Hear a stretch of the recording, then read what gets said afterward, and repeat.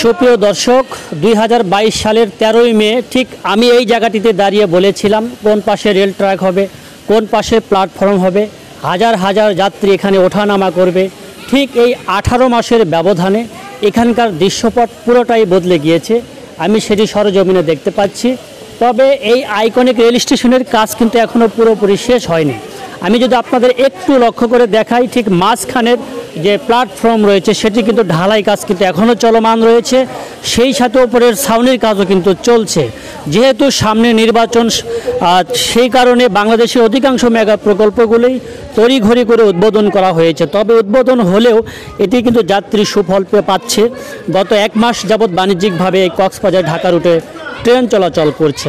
তো দর্শক, আমি গত বছর, অর্থাৎ দু হাজার বাইশ সালের বারোই মে কি কথা বলেছিলাম সেটি একটু কাটিং ভিডিও আপনাদের দেখাই। ঠিক যে জায়গাটিতে দাঁড়িয়ে আছি, এটাই হবে মূলত প্ল্যাটফর্ম আমি যেখানে যেটার উপর দাঁড়িয়ে আছি, এটা হবে প্ল্যাটফর্ম মূল প্ল্যাটফর্ম আর এই ওয়ালটার পাশে যেটা আছে, এটা হবে আপনার রেল লাইন তো মূলত একটা সময় হাজার হাজার যাত্রী এখান থেকে হয়তো ওঠানামা করবেন।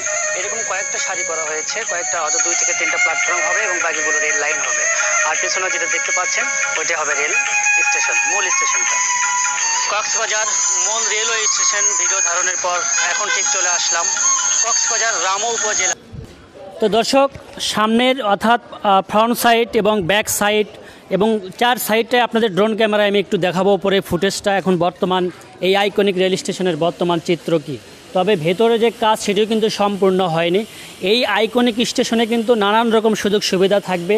আপনি যদি চান যে এই আইকনিক স্টেশনের আপনি রাত যাপন করতে পারবেন এবং এখানে ব্যাগ রাখার লাগেজ ব্যবস্থা থাকবে চাইল্ড জোন রয়েছে রেস্টুরেন্ট রয়েছে, অসংখ্য সুযোগ সুবিধা নিয়ে কিন্তু চালু হতে যাচ্ছে কক্সবাজার আইকনিক রেল স্টেশন সুপ্রিয় দর্শক, দীর্ঘ আঠারো মাস পরে আবারও আমি হাজির হয়েছি এই আইকনিক রেলওয়ে স্টেশনে যেহেতু এই প্রকল্পটি চালু হয়ে গিয়েছে, আশা করি আপনাদের আর আগ্রহ থাকবে না দেখার। তো ভেবেছি আজকে আমার শেষ পর্ব, শেষ আপডেট এই প্রকল্পের। তো আইকনিক রেলওয়ে স্টেশনের যে কাজগুলি বাকি রয়েছে, সেটি আজকে আপনাদের ওপর থেকে দেখাবো। পুরোপুরি চালু হতে আরও কিছু সময় প্রয়োজন হবে। যেহেতু সামনে নির্বাচন, আমি আগেই বলেছিলাম, নির্বাচনকে ঘিরে সরকার কিন্তু সবগুলি মেগা প্রকল্পে উদ্বোধন করছে। কোনোটা শেষ হয়েছে বা কোনোটা আংশিক। তো আমরা উপরে দেখতে পাচ্ছি ছাউনির কাজ করছেন এখনও যে শ্রমিকগুলো রয়েছে, এখানে এখনও অনেক কাজ বাকি রয়েছে, সেটি আপনাদের দেখাবো। প্রথমে যদি আমি বলি, এটা কোথায় কীভাবে যাবেন এবং কোন জায়গাটিতে অবস্থিত, এটি হলো চান্দের পাড়া নামক স্থানে, অর্থাৎ কক্সবাজার শহর থেকে একটু দূরে। এটি হলো কলেজ গেট ঠিক অপোজিটে, ঠিক এই রাস্তা ধরে আপনি প্রবেশ করবেন। অর্থাৎ যে আমরা রাস্তাটি একটু আগে দেখলাম, সেটি হলো কক্সবাজার ঢাকা যে মহাসড়কটি রয়েছে, ওখান থেকে এই সড়কে প্রবেশ করলেই কিছু দূর এগুলোই দেখতে পাবেন সুন্দর একটি বাংলাদেশের সেরা আইকনিক রেলওয়ে স্টেশন তো আমরা সামনের দিকে অগ্রসর হচ্ছি। এই রাস্তাটিও নতুন করে করা হয়েছে। অর্থাৎ এখানে যা কিছু হয়েছে সবই নতুন। এগুলো কিন্তু জমি ছিল এবং জমিতে ধান চাষ করতো আমি দেখেছিলাম। তো সেগুলোই মূলত মাটি ভরাট করে এই আইকনিক রেলওয়ে স্টেশন নির্মাণ করা হয়েছে। দর্শক, এটি হলো মূল ফটক, অর্থাৎ আইকনিক রেলওয়ে স্টেশনের একদম সামনের অংশ। আমরা দেখতে পাচ্ছি এখানে সুন্দর করে বড় করে লেখা রয়েছে এই ভবনের সামনে যে কক্সবাজার রেলওয়ে স্টেশন এবং এটি মূলত ঝিনুকের আদলেই তৈরি করা হয়েছে। আমরা দেখতে পাচ্ছি নিচে ভবনটি কিন্তু একেবারে সাধারণ ভবন এবং ওপরে শুধুমাত্র যে ছাউনিটাই ছাউনিটাই কিন্তু ডিজাইন করা হয়েছে সুন্দর করে। এটির কারণে কিন্তু নান্দনিক লাগছে এই ভবনটি।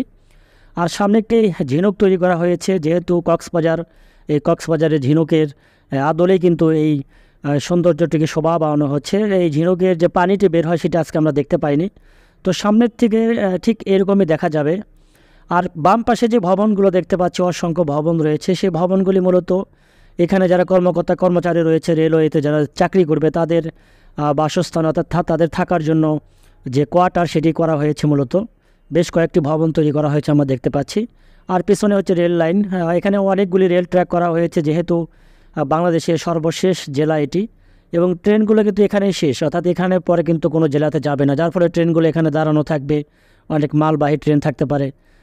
প্ল্যাটফর্মের জন্য অপেক্ষায় থাকতে পারে, যার ফলে অনেকগুলি রেল লাইন বাড়ানো হচ্ছে। আর পেছনে দেখতে পাচ্ছেন জমি এবং গ্রাম। মূলত একটি সময় কিন্তু এটি গ্রামে ছিল। এখন কিন্তু দিন যত গড়াবে, ততই কিন্তু এটি উন্নতির ছোঁয়া লাগবে। অলরেডি কিন্তু উন্নতির ছোঁয়া লেগেছে। আমরা দেখতে পাচ্ছি ঠিক পিছন সাইডে দেখতে পাচ্ছেন দুটি প্ল্যাটফর্ম এই দুটি প্ল্যাটফর্মের ছাউনি কি করা হলেও কিছুটা বাকি রয়েছে এখনও আর ওপরে যে, অর্থাৎ মূল স্টেশনের যে, উপরে ছাউনিটা সুন্দর করে অনেক আগেই এটি সম্পূর্ণ করা হয়েছিল। আর একটি ট্রেন দেখতে পাচ্ছি আমরা, ঠিক একেবারে বাম সাইডে লক্ষ্য করুন, একটি ট্রেন, অর্থাৎ সকালে যেহেতু আমি ট্রেন যোগে ঢাকা থেকে এসেছি, তো ঢাকা থেকে আসার পরে ট্রেনটি কিন্তু পরিষ্কার পরিচ্ছন্নতার জন্য সামনের দিকে নেওয়া হচ্ছে। ওখানে পরিষ্কার পরিচ্ছন্ন করে আবারও এটি যাত্রীর জন্য, অর্থাৎ সাড়ে বারোটার সময় ছেড়ে যাবে ঢাকার উদ্দেশ্যে। তো মূলত এই কক্সবাজার আইকনিক রেলওয়ে স্টেশন এমন একটি স্টেশন যেটি বাংলাদেশের সর্বসেরা বলা চলে। এবং খুবই নান্দনিকভাবে তৈরি করা হয়েছে এবং এমনটি হওয়া উচিত। কারণ এই আইকনিক রেলওয়ে স্টেশনে এখানে অ্যাক্সেলেটার লিফটও থাকবে এবং দুটি কিন্তু ফুট আবার ব্রিজ রয়েছে। আপনি প্রান্ত থেকে প্রান্ত যেতে পারবেন। তো মূলত এই কক্সবাজার আইকনিক রেলওয়ে স্টেশন ঘিরে কিন্তু আলোচনা কম হয়নি। আশা করা যায় যখন পরিপূর্ণভাবে কাজ শেষ হবে তখন আরও সুন্দর লাগবে। এখানকার দৃশ্যপট আরও পরিবর্তন হয়ে যাবে। তো দর্শক, আমরা সামনের দিকে যাচ্ছি, অর্থাৎ সামনের দিকে হলো যে কক্সবাজার থেকে ঢাকামুখী যাবে এই এই পথ দিয়েই। তো আমরা দেখতে পাচ্ছি এখানে হ্যাঁ, যে পানিগুলি ভরাট করা অর্থাৎ যে ট্যাঙ্কি রয়েছে এই ট্যাঙ্কে কিন্তু পানিগুলি ভরাট করা ভরার জন্য কিন্তু এখানে বেশ কয়েকটি দেখতে পাচ্ছি পানির যে ট্যাপগুলি সারি সারিভাবে দাঁড়িয়ে আছে। মূলত এই ট্রেনটি যে আসছে এখানে মূলত দাঁড়িয়ে যাবে। দাঁড়িয়ে যাওয়ার পরে কেউ বা পরিষ্কার করবে কেউ বা যে ওপরে যে হ্যাঁ, পানির যে ওয়া- ওয়াটার ট্যাঙ্ক রয়েছে সে ট্যাঙ্কের যে মুখ সেগুলো খুলে পানিগুলি ভরা ভরবে। তো দর্শক, আমরা দেখতে পাচ্ছি সামনে অর্থাৎ এই সাইড থেকে একেবারে কতটা সুন্দর লাগছে দেখতে পাচ্ছেন। এই কক্সবাজার আইকনিক রেলওয়ে স্টেশনে অর্থাৎ দুটি প্ল্যাটফর্মে অর্থাৎ চার সাইড থেকে আপনি ওঠানামা করতে পারবেন। আর এই অংশটুকুতে কিন্তু এখনও ছাউনি বাকি রয়েছে, আমরা দেখতে পাচ্ছি। তার সরঞ্জাম কিন্তু এখানে আনা আনা হয়েছে। এগুলো কিন্তু অচিরেই কিন্তু ফিটিং করা হবে। আর এই যে সামনের অংশে দেখতে পাচ্ছেন, এখানে ফুট ওভার ব্রিজ রয়েছে। আর সামনের যে ফুট ওভার ব্রিজ সেটা ওঠার জন্য যে অ্যাক্সেলেটার লিফট লিফট কিন্তু স্থাপন করা হয়েছে। এখন নীল পলি দিয়ে কিন্তু ঢেকে রাখা হয়েছে, আমরা দেখতে পাচ্ছি এটি। এই আইকনিক রেলওয়ে স্টেশনে কিন্তু এমন কোনো সুবিধা নেই যে সেখানে থাকবে না। আপনি যদি চান যে কক্সবাজার আসবেন, আসার পর আপনি হোটেল বুকিং করবেন না এখানেই থাকবেন বা এখানে আপনি না থাকলেও সকালে চলে আসবেন এসে এখানে লাগেজ রাখার জন্য যে লকার সেই লকারের ব্যবস্থা রয়েছে। এই লকার লকারের লাগেজগুলো রেখে আপনি পানিতে চলে যাবেন অথবা সাগরে চলে যাবেন, এটা অটো অটো ভাড়া করে। আপনি যদি সিঙ্গেলভাবে লোকালভাবে যান, তাহলে বিশ টাকা করে নেবে। আর যদি রিজার্ভ করে নেন, তাহলে হয়তো বা ষাট থেকে আশি টাকা নিতে পারে। আপনি সারা দিন ওখানে গোসল করে আবারও রাতের ট্রেন ধরে কিন্তু চলে আসতে পারবেন।